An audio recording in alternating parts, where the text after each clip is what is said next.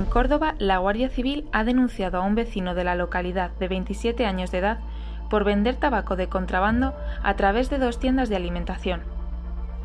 En la inspección que realizaron los agentes se encontraron dobles fondos en los que había 269 cajetillas de tabaco, la mayoría de ellas de contrabando. En Cádiz, los agentes detuvieron dos furgonetas con tres personas de origen polaco en las que encontraron escondidos en dobles fondos 11 bolsas envasadas al vacío que contenían 12 kilos de cogollos de marihuana secos y listos para ser comercializados.